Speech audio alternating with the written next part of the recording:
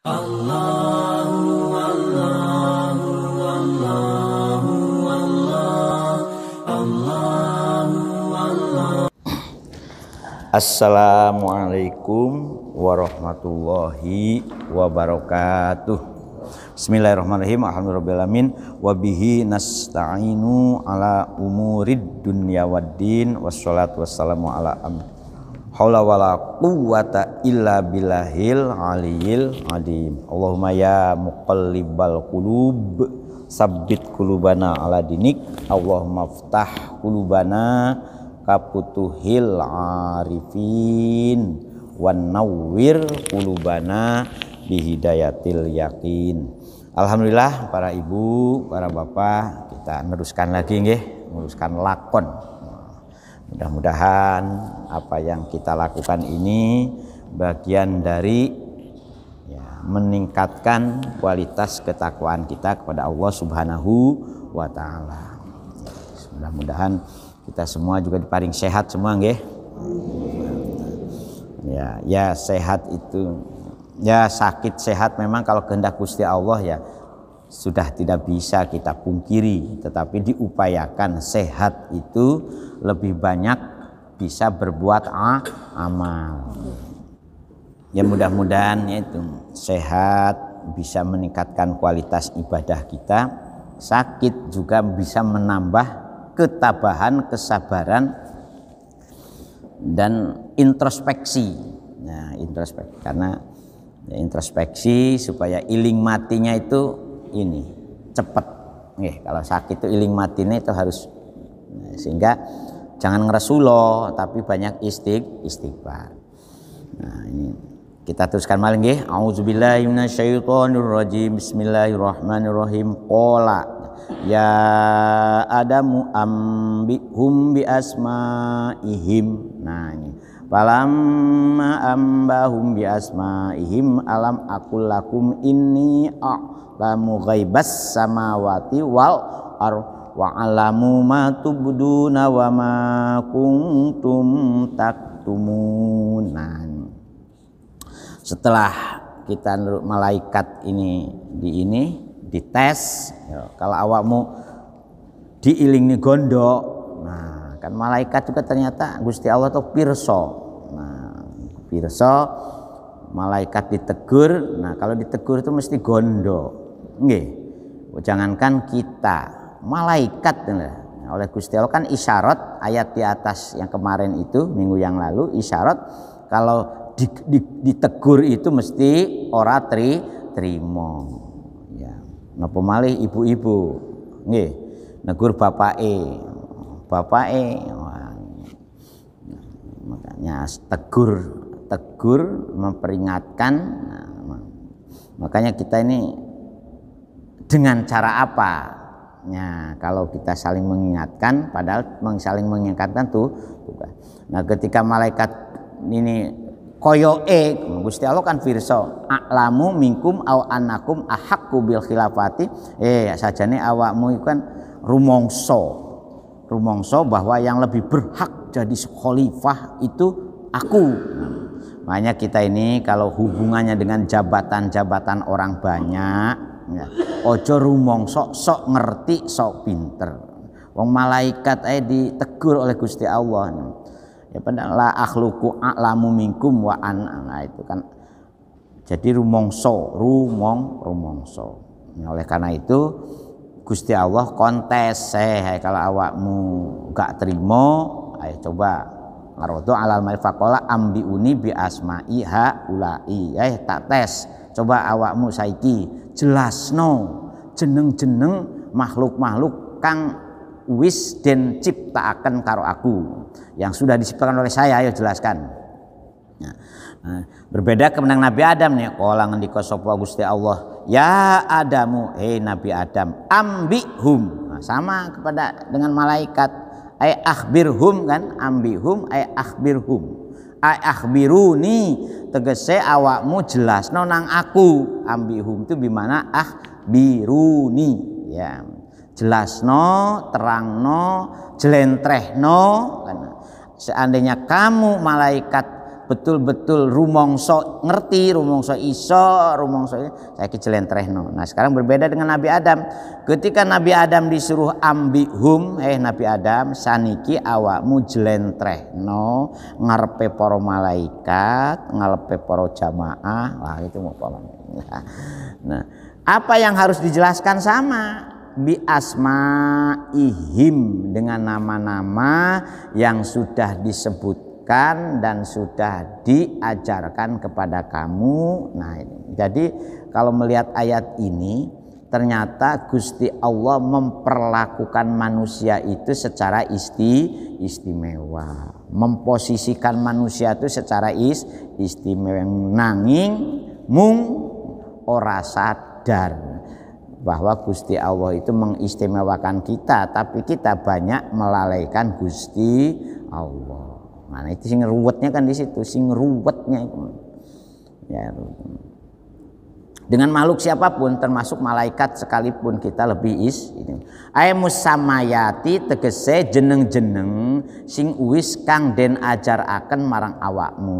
Nah, pasama kula syai'in bi ismihi pasama maka ngarani sopo Nabi Adam kula syai'in ing ing tiap-tiap ing saban-saban suwiji bi ismihi kalawan jenenge secara jelentreh Wazakaro hikmatahu bukan hanya namanya saja. Wazakaro lan nutur Nabi Adam menjelaskan sapa Nabi Adam hikmatahu ing hikmai dari setiap jenis nama wujud sesuatu yang sudah diciptakan oleh Gusti Allah. Jadi makanya kan makhlukta hada batila. Tidak ada sejenis apa pun ciptaan Gusti Allah itu yang diciptakan sia-sia. Nah, berangkat dari pemahaman seperti ini, maka muncullah paedah-paedah dari semua jenis ciptaan Allah Subhanahu wa taala. Nah, oleh karena itu kita ya harus lebih berfaedah daripada suket. Suket banyak faedahnya, Bu nggih. Umpamane suketnya suket jahe, Bu nggih, didamel wedang, nggih. Tumbuhan kalau teknik ini kita teknik saking tumbuhan, Bu. Ngapunten nggih.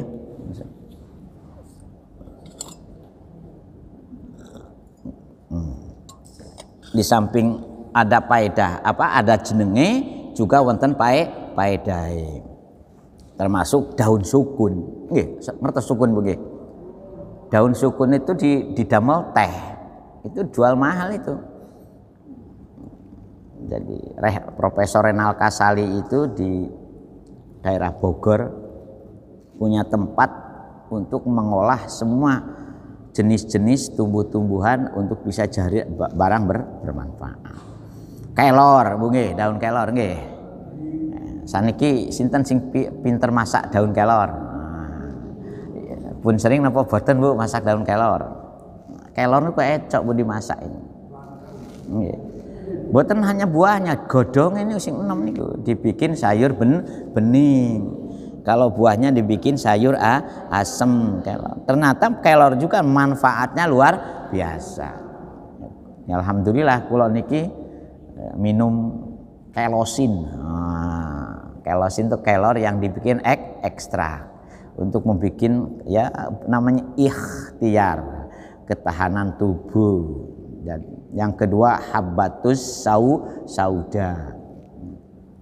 Habatus sauda itu ada yang diekstrak bikin prokumin. Wah itu luar biasa. Pernah dengar istilah prokumin bu nge? Nah itu, nah itu zakaro hikmatahu. Ini itu bagian dari hikmah arti manfaat dari semua tumbuhan, semua jenis makhluk yang diciptakan oleh Allah Subhanahu wa taala.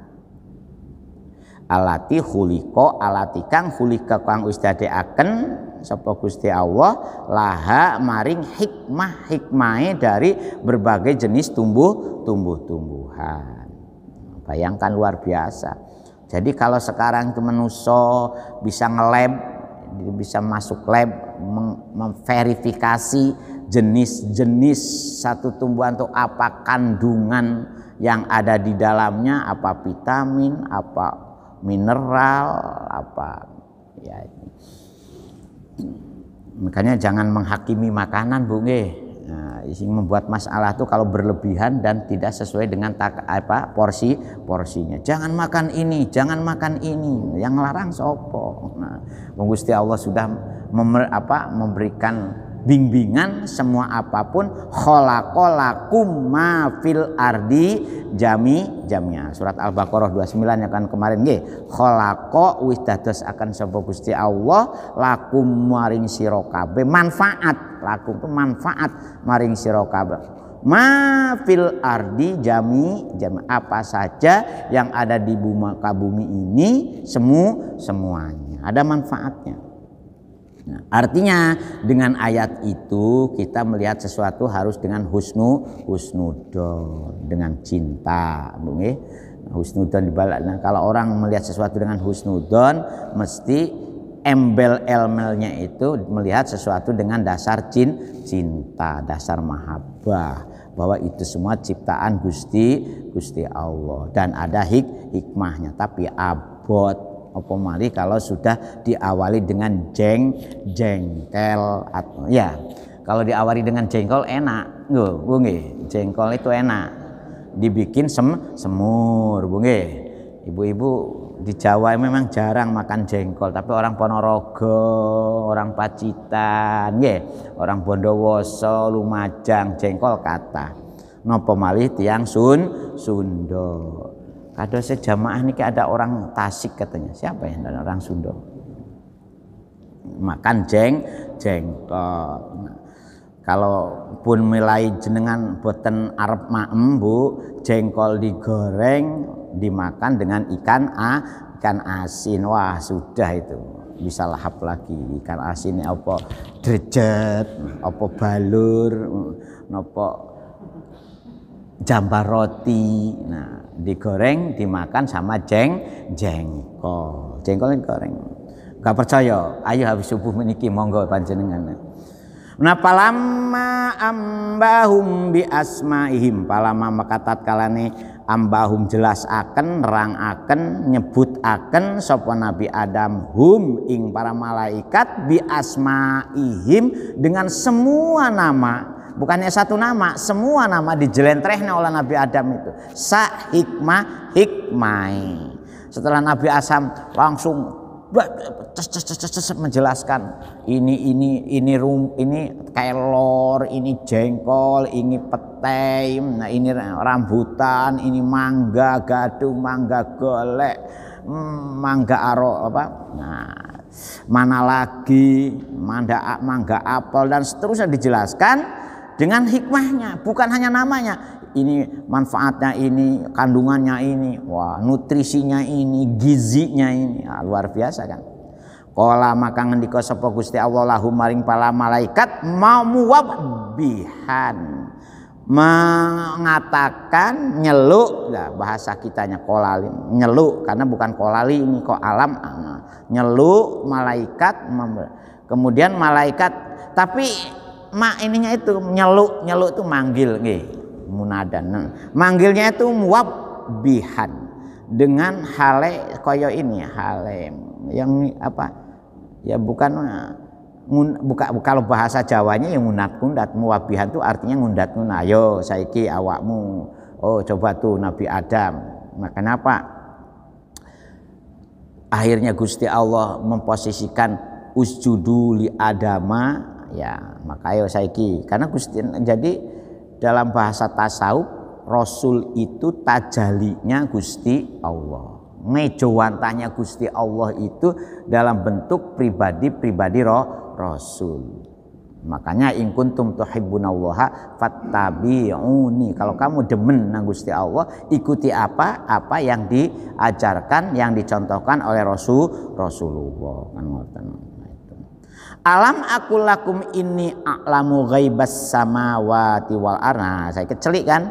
Bukankah aku wis ngar, wis ngata ah, bukankah saya kata Gusti Allah sudah mengatakan lakum kepada kamu wahai para malaikat ini utawi ingsun Allah iku a'lamu luwih nginawarui ghaibas samawati wal ar. Ing nopo mawon barang-barang goib yang ada di langit maupun yang ada di bu di bumi. Bukan hanya cukup di situ.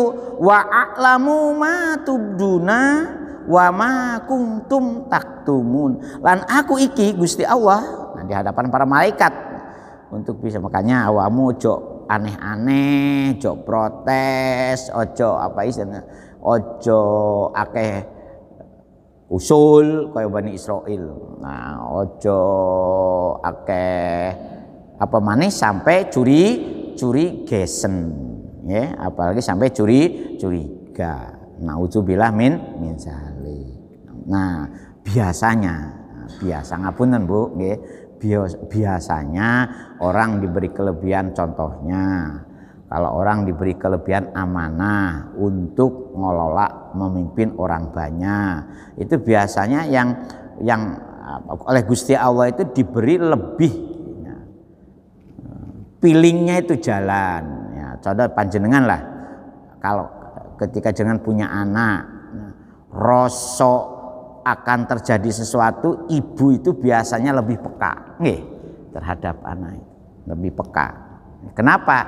Ya karena Gusti Allah memang memberi ke, ke ini keistimewaan seperti itu. Sesuatu yang di bawah kita, biasanya yang di atasnya itu secara positioning, wah bahaya. Bahasanya kok positioning. Seperti sua istri, suami. Kalau sudah betul-betul apa nah chemistry-nya itu connect. Wah, ada chemistry barang gue. Itu biasanya peka. Ana apa-apa Mas aja budal lah saiki. Nah itu kan. Tahu-tahu terhindar dari kecelakaan. Tapi jangan seperti yang dipiralkan di YouTube apa di Facebook. Terjadi kecelakaan Sriwijaya karena kono pamitannya mau ke Kalimantan tahu-tahu ke istrimu muda setelah ada daftarnya tuh tahu-tahu sih selamat. Apa betul apa enggak cerita itu ya? Hal-hal seperti itu ya. Jadi Gusti Allah tuh langsung pirso nopo mawon rahasia-rahasia yang ada di langit maupun nopo mawon rahasia-rahasia yang ada di bumi. Ayat tegese nopo mawon ghoba kang wis samar barang samar barang gaib fihima ono ing dalam langit dan bu bukan hanya itu. Wa a'lamu lan langsung a'lam itu lebih lebih tahu. Anak makanya kan wallahu a'lam. Wa a'lamu aklan aku ingsun kata Gusti Allah. Iku luwih weru luwih meru marang opo? Ma marang nopo mawon?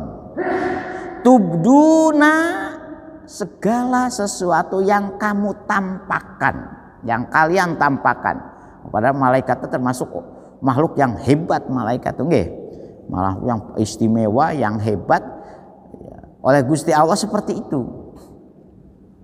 Jadi Gusti Allah itu memang maha adil, Bu. Jangankan kita.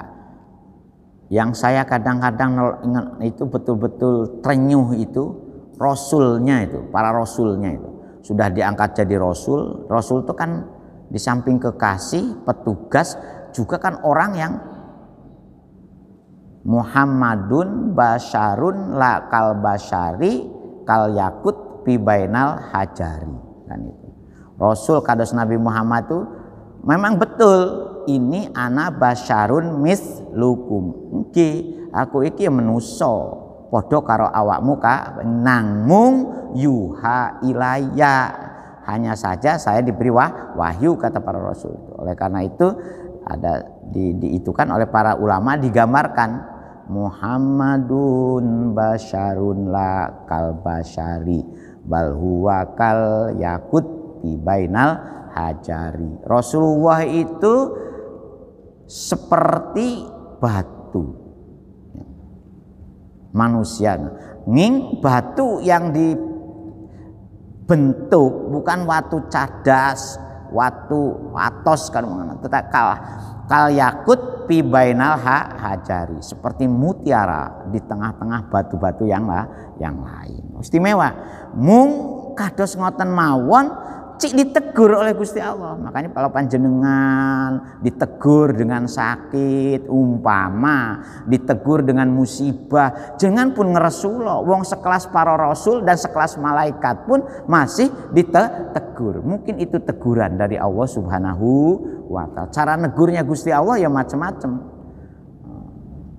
Pernah Rasulullah itu di ini semacam di ya diben, apa, bukan ditegurnya itu dengan tidak turun-turun wahyu. Makanya muncullah turunlah ayat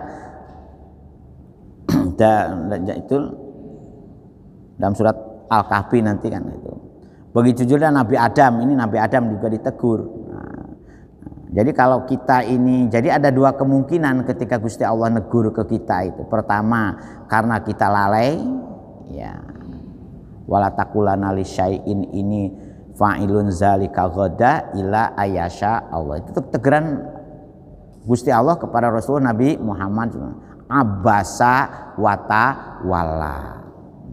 Dalam istilah teguran ayat-ayat teguran kepada Rasul itu namanya ayat itab di dalam ulumul Quran itu. Jadi ayat-ayat yang memang Gusti Allah sendiri negur bukan hanya kepada Nabi Muhammad, hampir semua rasul yang digambarkan di dalam Al-Qur'an itu juga mengalami teguran. Ya, jadi kalau panjen, oh pemane kalau panjenengan jadi karyawan, jadi pegawai di satu tempat, suatu ketika ditegur, ya jelas mesti ada kekeliruan, ada kesalahan yang dipandang menurut penguasa lembaga, penguasa pekerja jenengan pekerjaan jenengan yang tidak seja, sejalan. Tetapi prinsipnya harus ada aturan dulu, tidak asal negur, ada aturan yang dilanggar. Nah, jadi contohnya Nabi Adam nanti setelah ayat ini kan gitu, ada perintah kamu harus duduk di sini, gak boleh ngalih-ngalih, nikmati apa yang kamu sedi apa yang saya sediakan kata Gusti Allah. Sudah. Jadi kalau mau negur orang, contoh panjenengan sudah jadi suami istri punya hak saling tegur menegur. Tapi kalau masih pacaran naudzubillah minda mencari. Jangan sampai pacaran kalau bisa nggih? Kalau bisa itu bu bu bapak-bapak kalau punya anak lanang punya anak gadis kalau bisa wayai rabi tugas orang tua itu apa ayu zawiza ida bala balako padosno bojo bu cepet-cepet rabe rabe no Supaya apa? Supaya kita terhindar dari perbuatan-perbuatan yang melanggar syara. Doa kita kan nah, jangankan kita untuk bisa seperti itu abad juga tuh Nabi nah, itu. Karena Nabi Ibrahim pun ternyata tidak semua keturunannya itu sejalan dengan cita-cita dan keinginan Nabi Ibro, Nabi Ibrahim wa a'lamu lan minawaru ingsun Allah ma ing napa mawon tubduna kang den tampakaken. Wa ma lan napa mawon kuntum kang ana sira kabeh taktumun. Nah sekarang dijelaskan oleh Gusti Allah. Kaya apa yang kamu tampakkan? Aitu dihiruna min kaulikum a taj'alu fiha. Jadi sebelum malaikat mengatakan atajalu fiha mayubsidu fayasfiku dima. Gusti Allah tuh pun pirsa awakmu ketika saya memberitahu kalian akan menciptakan Nabi Adam awakku mesti akan mengatakan atajalu fi fiha mayubsidu fayasfiku di dima. Jadi Gusti Allah itu ya bagaimana yang yang ngatur semuanya Gusti Allah? Nah, itu. jadi apa yang ada di dalam hati kita matak tumun aitu siruna tegeseno pemawan yang kamu rahasiakan mingkaulikum saking omongan kalian semua layakhluko akroma alaihi minna wala a'lamu wala a'lama. Dengan layakhluko ora. Jadi ketika Nabi Adam dicipta sebelum diciptakan itu kan baru memberi informasi itu sudah di Nah ini bagi teman-teman dan bapak-bapak yang jadi kepolo-kepolo apa kepala desa, kepala kantor, kepala nopo mawon. Nah itu. Itu ilmune Gusti Allah sing kados ngeten itu harus dipelajari.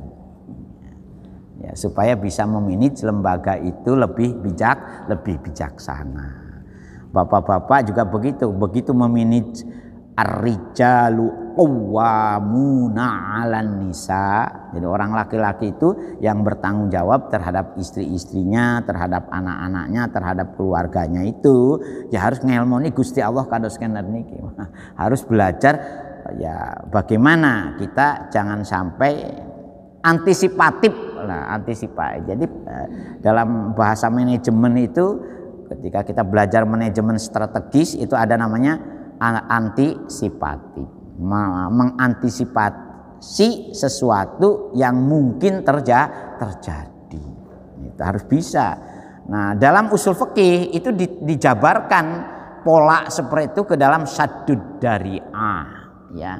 Mencegah sesuatu yang terjerum akan terjumus kepada kehancur kehancuran kados ngapunten Pak Yasin. Kados minggu yang lalu penjaringan usul. Ya nopo kita aktifkan kembali musyawarah. Setuju.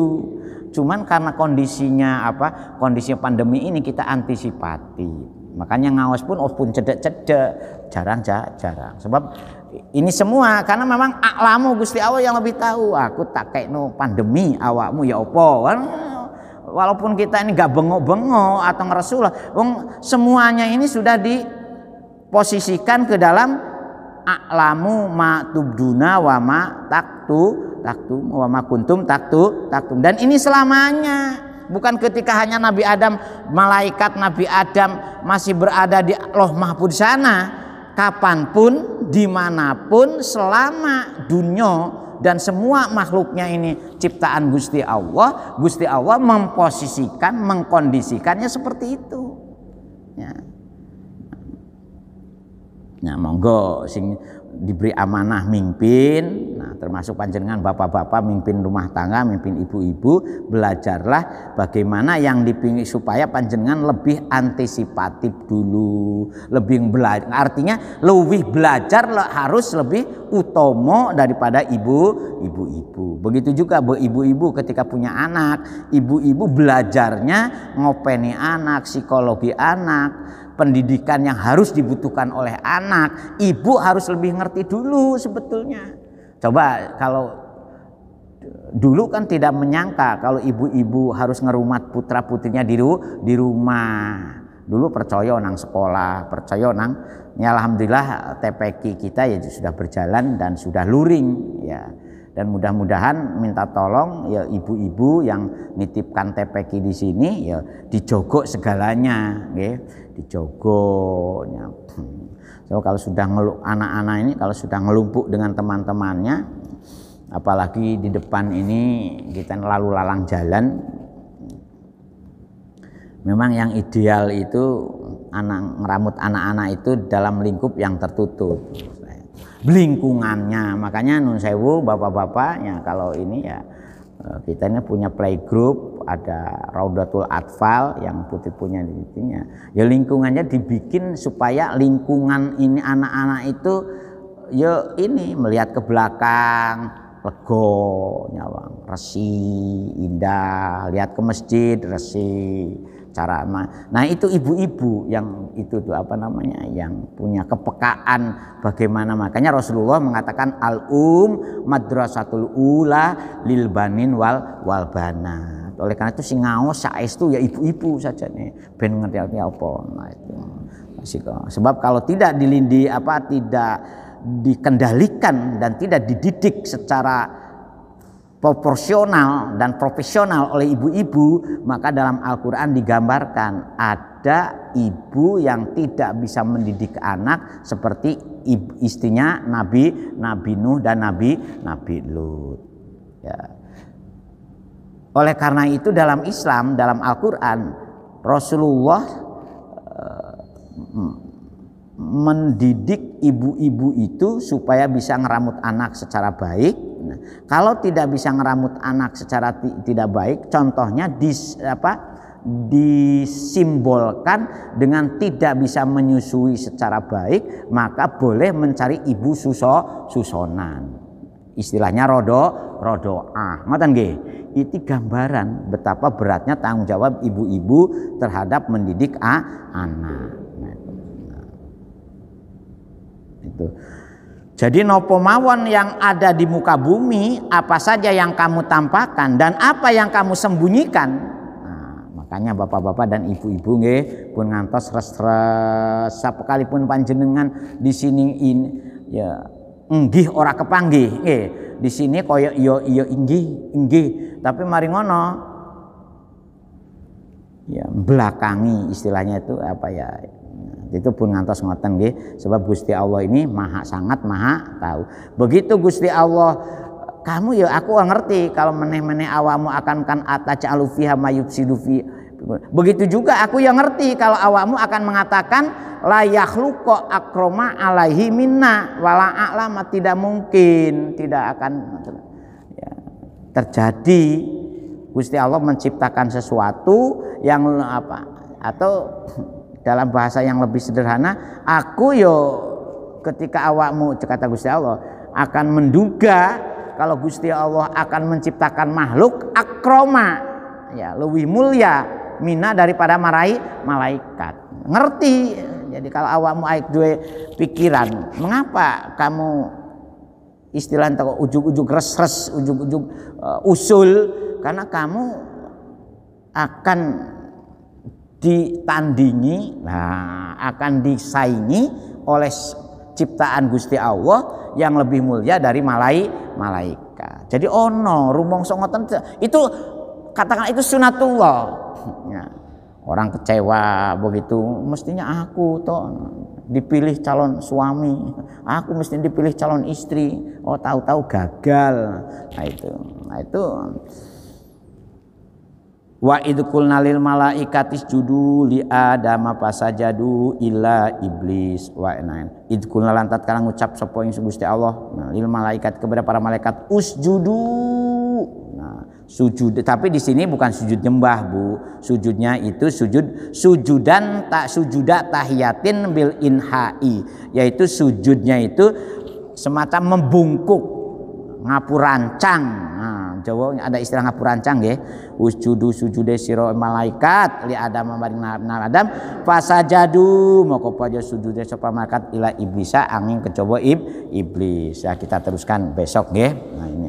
Jadi kesi yang perlu kita perhatos akan nggih. Pertama Gusti Allah itu langkungi nawarwi nopo mawon yang tersembunyi apalagi yang nam yang nampak. Nggih pun ngantos makanya panjenengan belajar. Mari kita angel panjenengan belajar husnu husnudon. Syukur kalau benyang hati panjenengan sudah mulai belajar ingat nang Gusti Allah bukan mulut. La ilaha illallah la ilaha illallah itu bukan mulut tapi hati hatinya. Hati itu gambarannya jantung berdenyut. Kalau panjenengan denyut jantung sudah mulai iling nanang Gusti Allah dan itu dilatih lewat ya, makanya ada yang ikut jamaah torikoh umumnya memang yang paling apa itu dikrun siri dunal jahri minal kauli. Dikir yang bersifat siri rahasia yang ada di hati dunal jahri tidak diucapkan secara jel, jelas oleh mulut. Nah, itu sing angel kalau la ilaha illallah mau Quran tetapi hatinya itu koneknya itu. Makanya monggo belajar kita nggih.